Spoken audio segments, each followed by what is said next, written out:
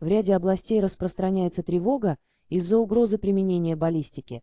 Поздно вечером, 15 августа, в ряде областей Украины объявлена воздушная тревога из-за угрозы баллистики. Об этом сообщает новости Украина со ссылкой на телеграм воздушных сил ВСУ. Как отметили военные, существует угроза применения баллистического вооружения с южного направления. Кроме того, отметим, что в Полтавской области зафиксированы вражеские беспилотники. Обновлено в 23.38. Военные сообщили об отбое угрозы применения баллистического вооружения, где объявлена тревога.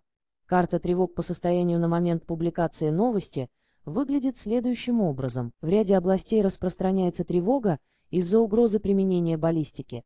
Поздно вечером, 15 августа, в ряде областей Украины объявлена воздушная тревога из-за угрозы баллистики. Об этом сообщает новости Украина со ссылкой на телеграм воздушных сил ВСУ. Как отметили военные, существует угроза применения баллистического вооружения с южного направления.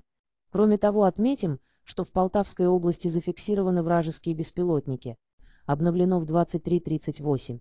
Военные сообщили об отбое угрозы применения баллистического вооружения, где объявлена тревога.